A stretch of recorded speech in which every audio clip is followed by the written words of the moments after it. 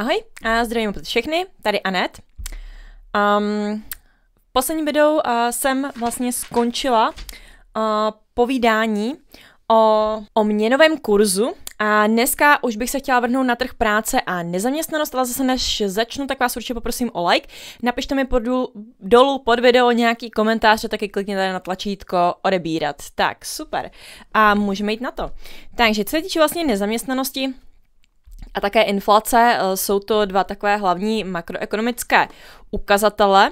A eh, co se týče vlastně eh, té nezaměstnanosti, podíváme se vlastně na nabídku a poptávku vlastně po práci a taky na, na rovnováhu na trhu a také, co je to například dobrovolná nezaměstnanost.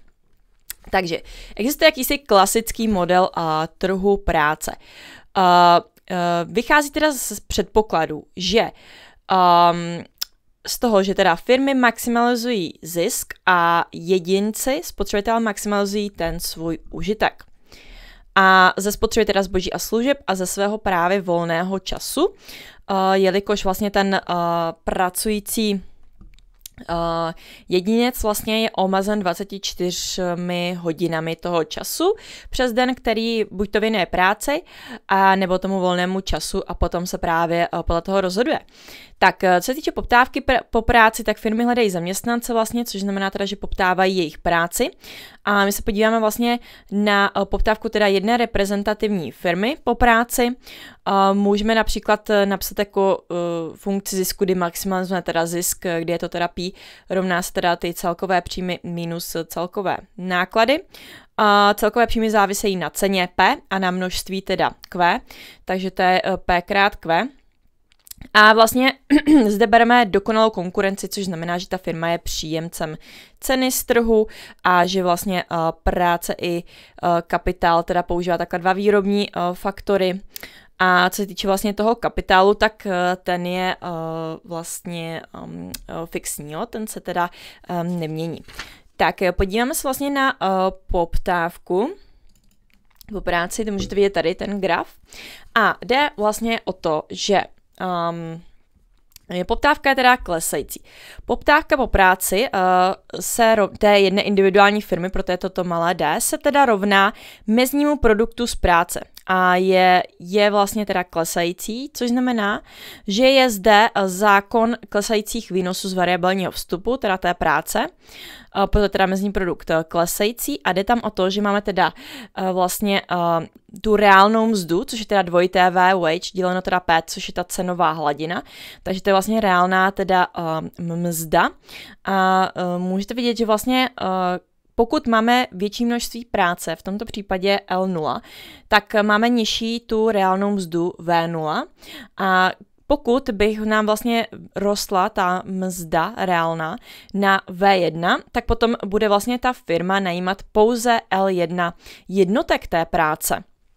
Takže tam můžete vidět že vlastně, že eh, čím více jednotek, eh, tím nižší mzda a uh, tím teda i nižší ta, uh, pro, ten produkt práce, protože každá ta jednotka, ten, um, ta, ta mezní veličina, takže s každou další vlastně jednotkou práce nám klesá právě ten mezní produkt té práce. Um, tak, takže takto.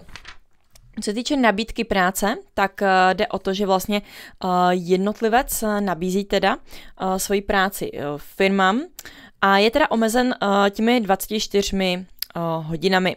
Je mzdová teda sazba to dvojité V a vlastně jde o to, tady můžete vidět teda graf opět, a máme teda ten čas, jo. A máme ten bod N například a z toho nám vychází vlastně potom tam mzdová vlastně sazba, a jsou tam i teda indiferenční křivky a vlastně tam to ukazuje, uh, pokud se vlastně uh, zvýší, zvýší vlastně z toho M uh, na M s čárkou, pokud se nám zvýší vlastně ta mzda, tak jenom jak se to otočí okolo toho bodu N, jo, protože tam jde o to, že my máme po, po, pořád k dispozici stejné množství toho času a potom se jenom vlastně rozhodujeme, když nám teda roste uh, ta mzda. Uh, pokud více vlastně vynaložíme na práci, anebo na volný čas. Takže tam jde vlastně o to, pokud více budeme pracovat, anebo více si budeme užívat volného času. Potom můžete vidět vedle ten graf, tam je vlastně o, o, úplně vertikální ta uh, vlastně ta nabídka té práce. Tak, takže to je toto. Potom ještě vlastně tady máme jeden graf, ten můžete vidět tady. A to je taky individuální nabídka práce. A zde můžete vidět, že ona je vlastně uh, nejprve rostoucí a pak se nám vlastně obrací zpátky uh, k té reálné mzdě. Takže nejdříve vlastně, když jako roste, uh, roste tam mzda, tak jedinci mají tendenci jako nabízet více teda množství té práce nebo více těch hodin, ale od určité uh, chvíle zase potom si užívají právě uh, spíše toho volného času využívají, takže potom zase, uh, zase to jde vlastně um, takhle teda takhle um, zpátky. Taky samozřejmě záleží uh, ta nabídka té práce jedince.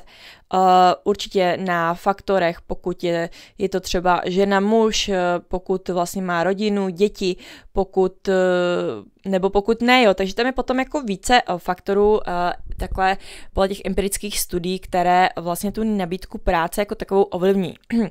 Potom klasická, vlastně klasický model trhu práce vypadá takto, můžete vidět tady. A tam jde o to, že máme teda to klesající poptávku a rostoucí teda nabídku práce, kdy máme potom optimální bod E1 a optimální teda mzdovou sazbu, v tomto případě je to teda uh, V1 a L, L1.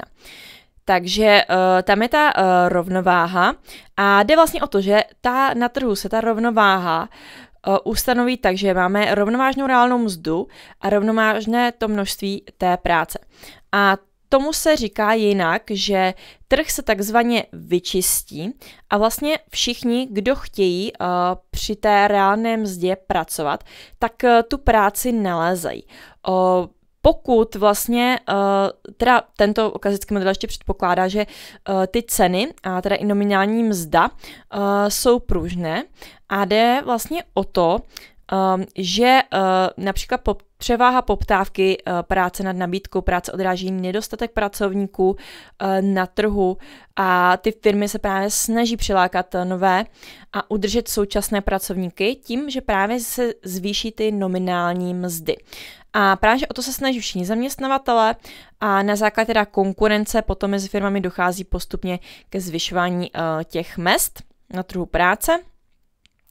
Uh, což i samozřejmě uh, je spojené se, se zvýšením nabízeného objemu práce a celý proces se opět zastaví, až se opět vyrovná poptávka s nabídkou a to znamená právě, že ten trh se takzvaně vyčistí. A uh, vlastně z tohoto hlediska nám vychází vychází to, eh, že vlastně v klasickém modelu existuje pouze takzvaná dobrovolná nezaměstnanost. Takže je vlastně nedobrovolná, kdy teda jako my jako jedinec vlastně uh, nemáme práci nebo nemůžeme najít, tak v tomto klasickém modelu vlastně neexistuje. Existuje pouze vlastně dobrovolná nezaměstnanost, kdy vlastně lidé, vlastně teda část těch pracovníků, která považuje na trhu tu existující reálnou mzdu za příliš nízkou, není ochotná vlastně za ní pracovat. Tak k tomu se právě říká uh, ta dobrovolná eh, nezaměstnanost. Tak, uh, takže uh, to by bylo uh, k tomuto uh, videu vše. Já vám moc krát děkuji za pozornost. Příštím videu budu pokračovat a budu se věnovat přirozené míře nezaměstnanosti. A takže se máte určitě na co těšit. Tak vám moc krát děkuji a Těším se na vás opět příště. Mějte zatím krásně. Ciao.